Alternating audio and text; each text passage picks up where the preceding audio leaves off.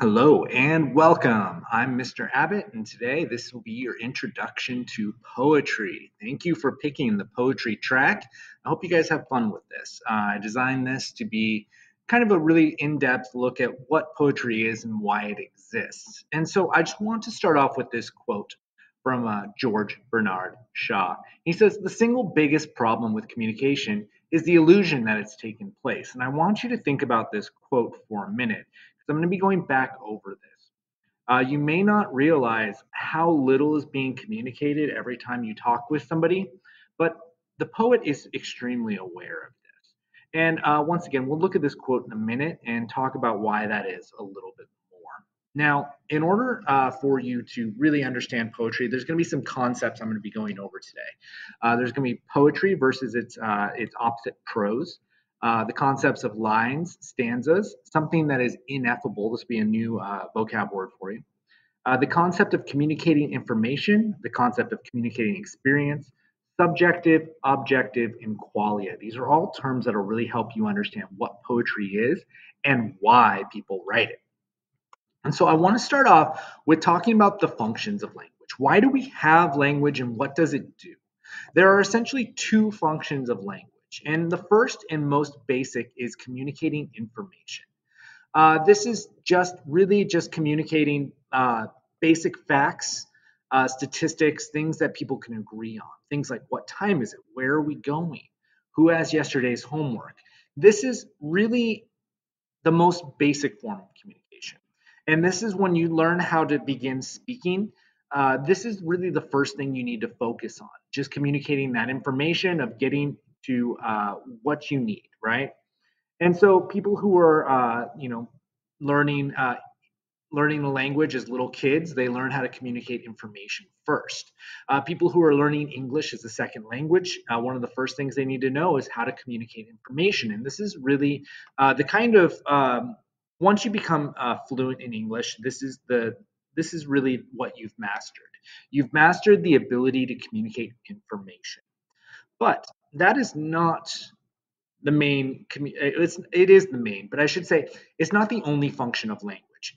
And the only reason why you're still in an english class is because there's another function of language and that is communicating experience. And this is something you can work on your entire life and never really master. This is the reason why you're still in an english class this is the reason why you have miscommunications. This is the reason why people write poetry and literature and make film. Because this function of language is much more difficult. It's very, very hard to communicate an experience. And so this is uh, going into what is it like to be somebody else? What are other ways of living and thinking? Am I alone or do other people see the world as I do? And so communicating your experiences on the planet is much harder because it's not basic information. It's really complex and really nuanced information.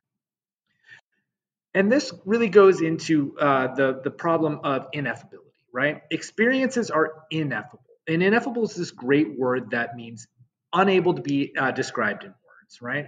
I want you to go back and think about a really powerful memory. It could be like, uh, what it was like to have Christmas morning as a child, or like some moment of strong emotion.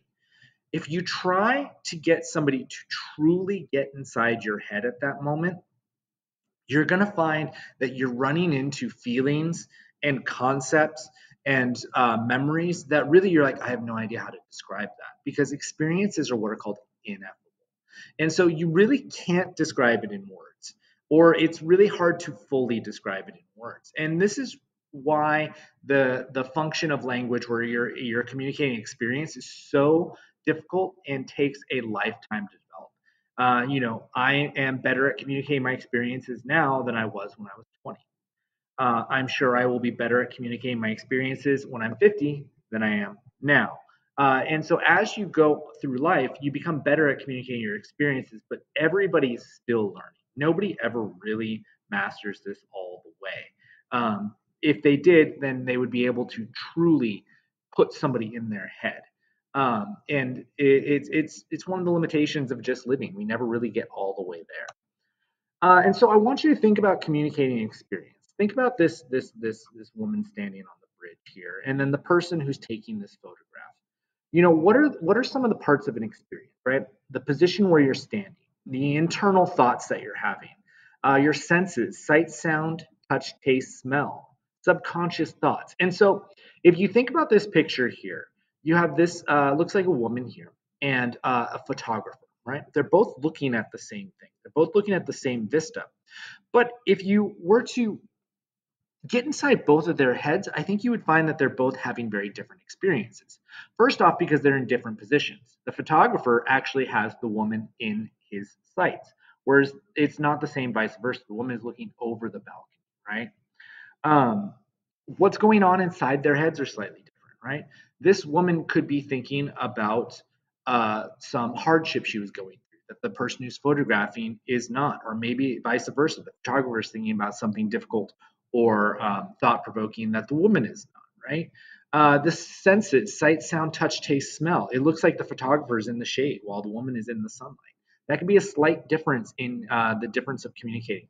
And so it could also be just subconscious thoughts. These are thoughts that aren't really all the way in your head, but are just like under the surface and they're influencing how you feel. And so they might be in completely different moods as this. And so while they're both looking at the same thing and technically doing the same thing, they are having radically different experiences at the same time. And so if they were to come together and try to communicate what it was like for them to be there in that moment, I think what you'd find is that they're having two different experiences, but neither of them would ever fully understand what it was like to be the other person at that moment. And so, what this comes down to is subjective versus objective experience, right? And so, objective experience, you know, it's just the facts. It's it's what the experience was. And so, that woman and that photographer in the previous photo, they were having the same objective experience. They were standing in a place on Earth at a certain time, looking in a certain direction. Objectively, that's the same experience but their subjective experience, what the experience was like for them, was slightly different, right? Because they have different thoughts, different feelings. They're in different locations in time, right?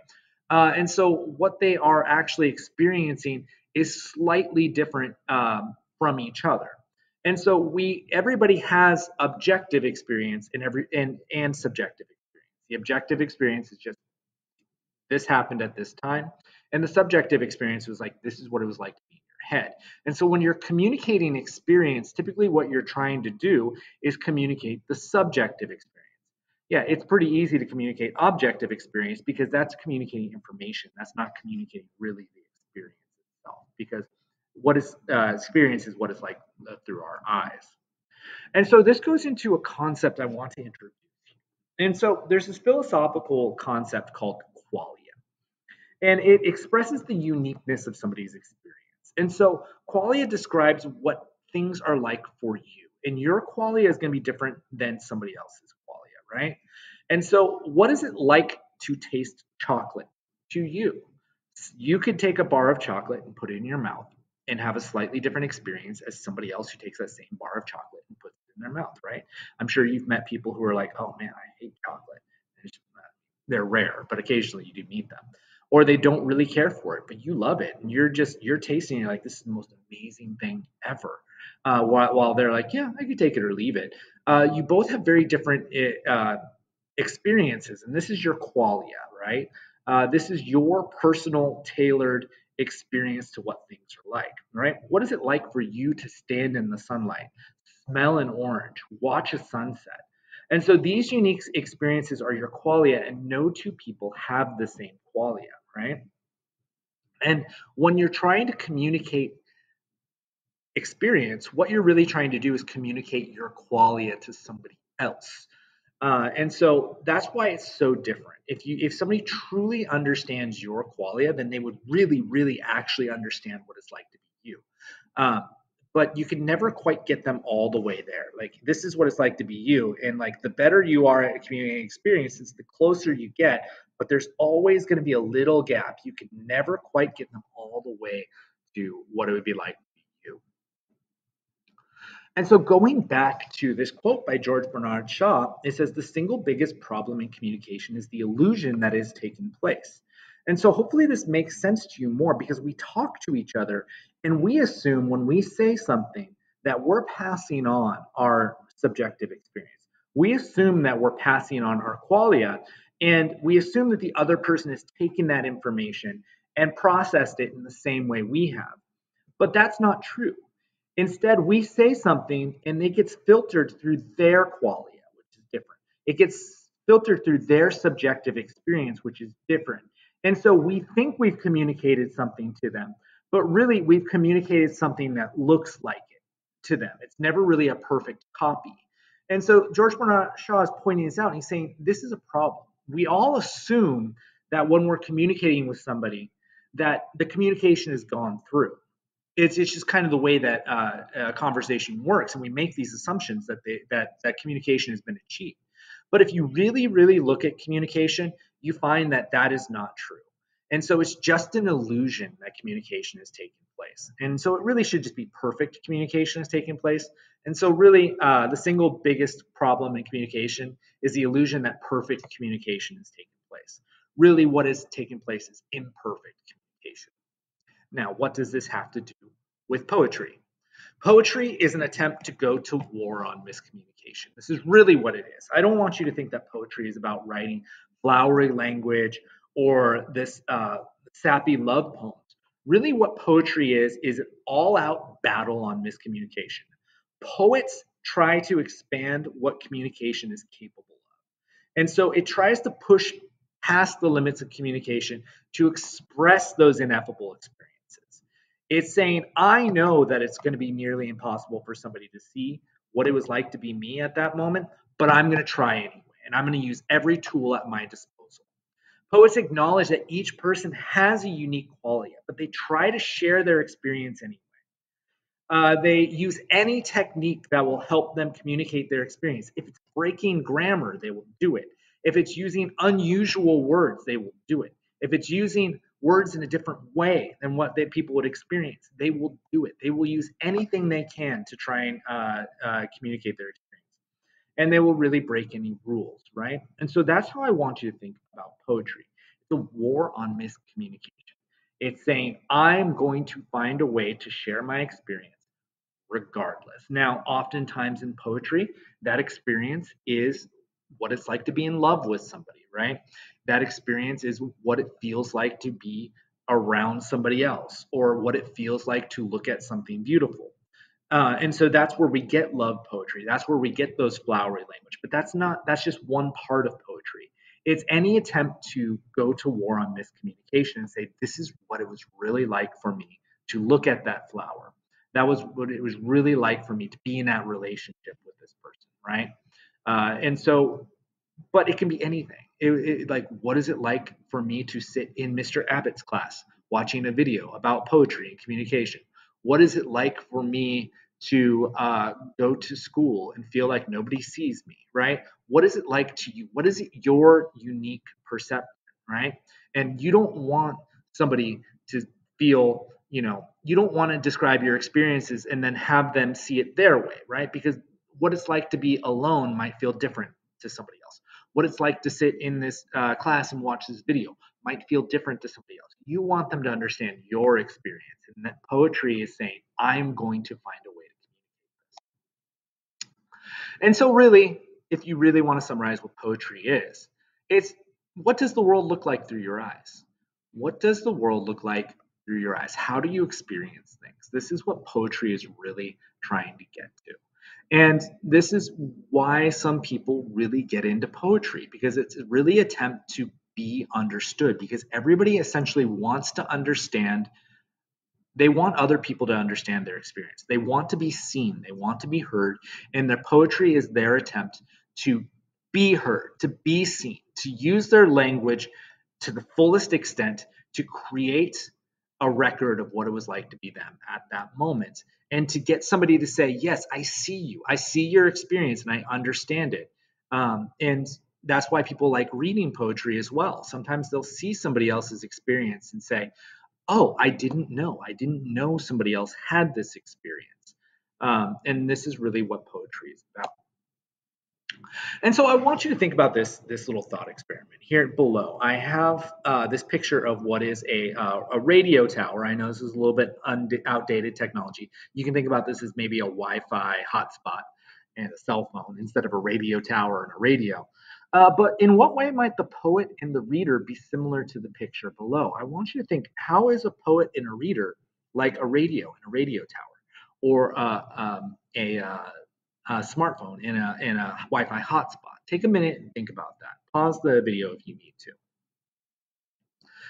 Okay, welcome back if you paused your video. Otherwise, you're just going to see me talking straight through this whole thing, and you're going to be like, wow, I didn't have time to think. Anyway, uh, if you think about it, when you're driving in the car, there's radio signals all around you, right, at all times. Uh, the only way you actually tap into those radio signals is if you have uh, your radio tuned to the correct frequency. And so in this way, a poet is like the radio signal. There's there's people all over the world. They're putting out their poetry saying, "Hey, here are my experiences. Here are my experiences. Here are my experiences." Um, but you might you might have your radio on, right? Uh, but you're not you're not hearing that experience because you're not tuned to the right station. And so what will happen sometimes is you will you will read a poem and you're like, I really have no idea what this person is talking about. And what's what's happening is you're not tuned to the same frequency. Something in your life is not giving you the tools to understand that poet's subjective experience. You you can't quite relate to that poet's qualia, or that poet is just not doing a, a job that allows them to communicate that appropriately. For some reason, there's a disconnect between the reader and the poet. And you might find this as you get older, you're going to find that you understand more and more poems as your wealth of life experience increases. Um, it's just what happens. The more things that happen to you, the more you understand uh, what other people are saying about their lives. And so I want you to think about this when you're reading and you're writing poetry. Just because you wrote something and it might be excellent, it might be well written, it doesn't mean people are going to be able to tune into it uh, you, you really need to find somebody who has kind of a similar experience to you. And so, really, this is another aspect of that qualia that I was mentioning earlier, that subjective experience. You want to use other people's qualia, their subjective experience, to get closer. They need to have some kind of point of reference. And so, you're you're using what they know to help them understand you and what it's like to be you. And so let's get into the nitty gritty here. Um, there's two terms I need you to understand if you're going to be writing poetry. Uh, there's prose, which is all forms of writing that are not poet poetry. So pretty much anything you see that's not poetry is this term prose. Uh, and so poetry is really a form of writer writing that says more and says it more intensely than other writing, right? Uh, poetry is like um, is like uh, I'll show you in a minute. I have a good metaphor for this. Um, but it, just remember that term. Uh, form of writing that says more and says it more intensely. And so prose is things like newspapers, novels, magazines, everyday speech, web articles, instructions. And so here I have an, uh, an article about uh, bald eagles in the United States. Um, it's written in prose. Uh, it's very factual information. Um, it's uh, talking about how uh, the population has increased. And so it's organized in the sentences, and those sentences are organized into paragraphs, right? But if we turn this into poetry, it looks a little bit different. Poetry is typically uh, forms such as poems, songs in some place. Yes, music is typically poetry. And so here uh, we have the eagle. Once again, it's talking about an eagle. He says, He clasped the crab with, crag with crooked hands, close to sun in lonely lands. Ringed with, az- ringed with the azure world he stands. The wrinkled sea beneath him crawls. He watches from his mountain walls, and like a thunderbolt he falls, right? So you'll see there's different things going on there. Uh, first, it's organized into lines, not sentences. Uh, there's these line breaks at the end. Uh, and so that's to change the rhythm. Um, the author is not necessarily using grammatic um, language. Uh, it typically tends to, it can rhyme, it can play around with sound, and is organized into stanzas, right? And so here the author is trying to communicate communicate an experience of you know how he felt thinking about an eagle or watching an eagle uh, dive from a cliff, right? And so going back to that uh, poetry says more and says it more intensely. In prose, you're having a message and you're putting it into a larger vessel, like a bottle, right? And so prose is like this big bottle here. You're fit, you have a lot of room. You can fit the message in there um, in in kind of a full form. Whereas poetry, you're trying to condense that message into a smaller bottle. Uh, and so poetry says more and says it more intensely than other writing. It's really trying to get a message into a smaller vessel um, so it can be understood more quickly and more intensely. And so typically uh, poetry will require more than one reading. And so here's a little um, list of things that are different between prose and poetry. So prose usually does not pay attention to rhyme or rhythm.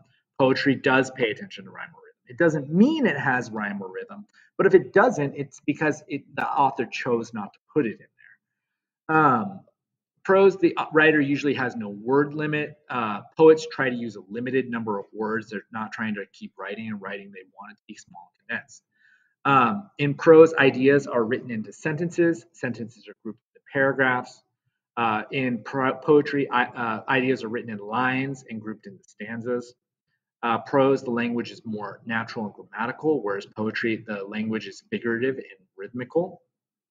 And uh, prose, usually you can understand it in one reading. You can read it one time and be like, okay, I know what's going on there. Poetry may require more than one reading uh, in order to interpret it because it is so dense. Uh, there will be things you notice every single time. And so here are some uh, essential uh, poetry terms that I want you to just know right off the bat. Uh, line and stanza. And so a line is a basic use, uh, unit of poetry. So here's a line. I like a look of agony. Now, you notice that's not the end of the sentence. In prose, it would just keep writing until it hits the end of the page. But in poetry, they break it into lines in order to show like a basic unit of understanding. It, it wants it to be like that line communicates one thing. And then when they're ready to communicate to another thing, they go to the next line. And so all the author wants you to understand from this line is that they like a look of agony, right? That's it. Um, you'll notice that agony is capitalized, right? That's not proper grammar, but it, the author capitalized it. Um, and so that's one line of poetry. And then these lines get grouped into what are called stanzas. It's like a poem paragraph. And so line and stanza. Line is a basic line of poetry, and stanza is uh, a group of lines. And so these are two things that you really want to understand. And I'm going to be using them going forward uh, to describe poetry. And really, that's that's that's the only thing that makes a poem a poem, right? Now, good poetry and bad poetry are two different things, but you know, uh, essentially, if it's broken into lines and stanzas, it is a poem. And so I want you to review some of the essential lesson concepts here and make sure that you have got them all. Do you know what poetry is versus prose? Uh, do you know what a line in a stanza is? Do you know what it means when I say experience is ineffable? Uh, do you know the difference between communicating information and communicating experience? Uh, do you get that concept of subjective and objective experience and the concept of qualia? And this one's difficult. I won't blame you if you don't get qualia right off the bat. But um, these are all things that you want to make sure you understand before moving on because these are things that are going to be really essential in understanding why you're writing poetry, what poetry is, and whether or not you're achieving your goals with poetry. And so let's take a minute and let's check out uh, the practice assignment to help uh, go through some of these concepts. Hello, and welcome to your Introduction to Poetry assignment here. Uh, so, really, um, what this assignment is going to be doing is just to begin to expand your skill in poetry writing. Um, I want you to understand what poetry is and why people write it. And so, we're going to attempt to help you see where poetry sits in your toolkit of communication, right? And so the whole point of this assignment is going to be to explore a memory and see if you can communicate that memory, that subjective uh, version of memory through a poem, right? And so you're not just trying to communicate the objective experience of where and when it took place. You want to try and communicate what it was like to be you in that moment. So I have kind of a uh, uh, uh you know, a process for helping you uh, try to do this. So check Google Classroom for when this is due. This is going to be project one. And so you're going to go down here, and I have an example of me doing this. Uh, if you scroll past that, you'll see down here I have a worksheet for you to fill out where you can uh, work through the process as well, right? And so starting up at the top, uh, the first thing I just want you to do is I want you to think of a moment in, in your life that was important to you somehow. Give it a title, right? What is the general memory you're going to describe? And so this is just deciding, okay, I want to talk about this today. And so for me, I just said uh, my first bus ride when I was living in South Korea. Right? And so I, I now have the memory that I want to um, to communicate. You know, and you could just be like, what was the memory of me sitting in class the first day of school, or whatever. It doesn't have to be anything uh, intensely personal. Uh, in fact, I am going to be reading these, so if you don't want to have that memory shared with me for some reason, please do not write about it, right? Uh, write about something you feel uh, comfortable with. Now, once you have that memory in your mind, you want to start uh, coming up with some of the things that were unique to you in that memory. So, like the images that you saw, what did you see when you were in that moment? Uh, what were some of the other sensations? That could be sights and sounds, uh, uh, tastes, smells. Maybe you're eating something. Maybe you smelled something weird, or uh, you know, uh, it could be a feeling. Perhaps it was extremely cold. what other sensations were there? Um, what memories were going through your head as you were experiencing that? Like when I was driving through Korea, I saw all these like neon crosses. Um, between the hillsides. It was mostly dark. I got there at night, and I kept thinking like this looks like something out of an anime, right? Um, like Trigun or something.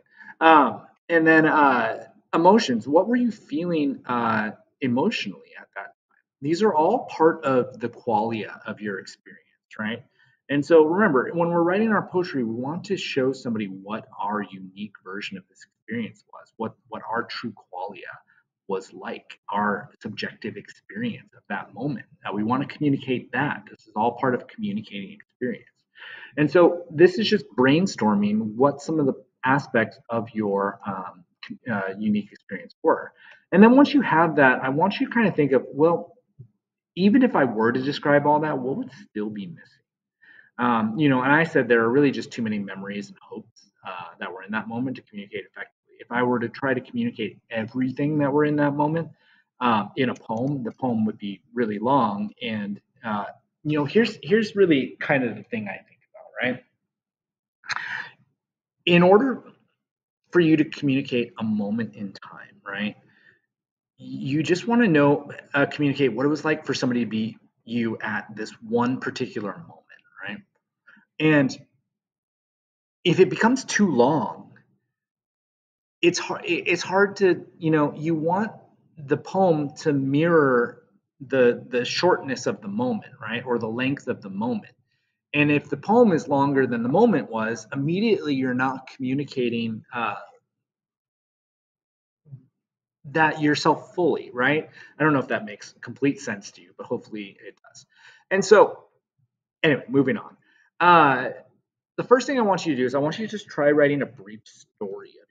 Now, this is writing in prose, not in poetry. Um, just write a story uh, that describes what it was like to be in that moment. So I wrote this story about uh, me riding on the bus and seeing uh, one of the towns as I drove by and bright red crosses, um, uh, neon crosses, and things like that in that moment. You can see it's not too long. Um, and then uh, now try to turn the whole thing into a home, right? Uh, that focuses on uh, what it was like to be you in that moment. Now, uh, you can use words, you can use phrases from your uh, narrative, but that doesn't mean you should copy the narrative and then just put it into lines and stanzas because that's not really what I want. Um, so, the poem I ended up writing was this uh, black rolling hills, matte velvet under the diffused glowing sky. Each mile took me further from my home, further into the unknown. Hills descended to a vista of red neon crosses levitating over a sea of lights. Hills rose again, cradling the bus in darkness. Overhead lights, a pearlescent sheen on the window, obscuring the world around me. Unable to see what is coming, I sit back and wait, traveling into uncertainty. And so I'm just trying to you know, describe this moment when uh, I was on my way to go teach in Korea, and I'm just looking out the window of the bus, and one of the first things I see uh, in Korea after traveling through darkness is this quick view of a city uh, and the city lights and the red neon cl- crosses floating over the city before uh, immediately almost it disappears uh, behind another hill, right? And so that was my intent. The extent to which I was successful in doing that, you know, I'm sure you can tell yourself. You like, Mr. Abbott, I didn't get any of that, which is fine. I mean, this is this is why I start off with that quote, like uh, that uh, communication is typically uh, it's it's an illusion that has taken place. We think that we're communicating something when we're often we don't. And so, really, that's what I want to see. I want to see you kind of take a moment uh, from your life, break it down, um, think about what would be missing, write a story, and then turn that story into a poem. And so, I want you to try and uh, follow this process to start uh, thinking about poetry and thinking about how it communicates uh, uh, experience. Uh, I, once again, uh, if you have any questions on this video, please make sure you ask me in class. Uh, typically, I prefer that you ask questions after you watch the video. Please don't ask me questions instead of watching the video. I really don't appreciate that. Um, but I look forward to reading what poems you come up with, and hopefully you guys enjoy doing this.